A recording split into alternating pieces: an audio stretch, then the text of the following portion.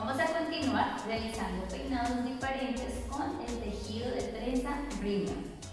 Vamos a realizar ahora unas trenzas que se usan muchísimo, que son alimentadas por un solo lado, que dan efecto cálido. Acompáñenme.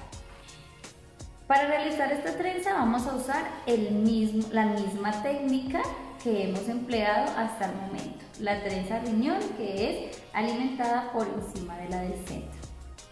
Lo que quiero mostrarles en este ejemplo es que con una técnica podemos ejecutar varios peinados dependiendo de la línea de diseño. Quiere decir que la línea de diseño es la que nos va a dar el estilo de peinado.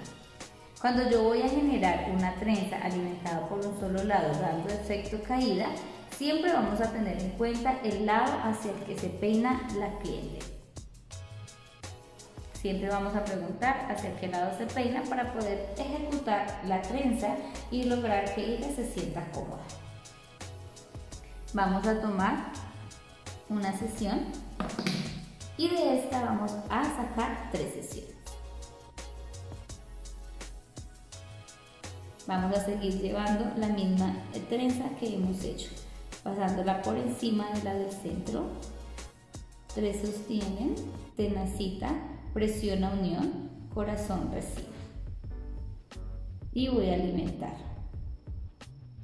Este tipo de trenza que vamos a hacer ahora es una trenza que no busca fijación, sino que quede suelta para que se vea como en caída.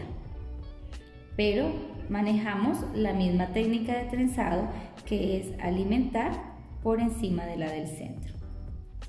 Como estamos buscando que quede en caída, siempre vamos a darle un largo diferente a cada cadejo alimentado.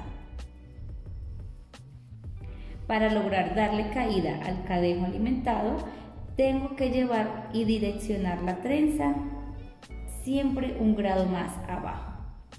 Para lograr direccionar la trenza un grado más abajo, la manito va a tener el movimiento de inclinación y el cadejo va a ir quedando más larguito. Cada vez que alimento voy manejando un nivel de inclinación. Con esto estoy dando el efecto caída más no de fijación. Pero este tipo de trenza no tiene fijación, pero sí queda súper definida y pulida. Para lograr la definición siempre vamos a, sacar cadejos muy delgaditos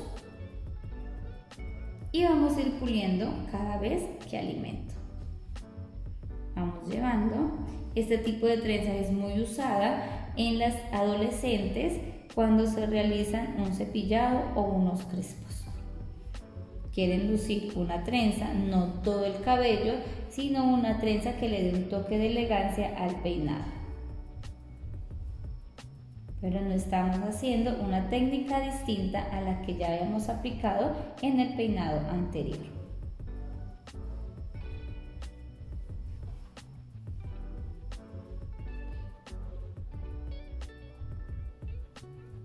Es por ello que siempre les digo que después de saber una técnica vamos a poder ejecutar muchísimos peinados teniendo en cuenta la variación de la línea de diseño. La dirección de la línea de diseño es la que nos va a dar la diferencia en cada peinado, así lo ejecutemos con, el, con la misma técnica de trenzado.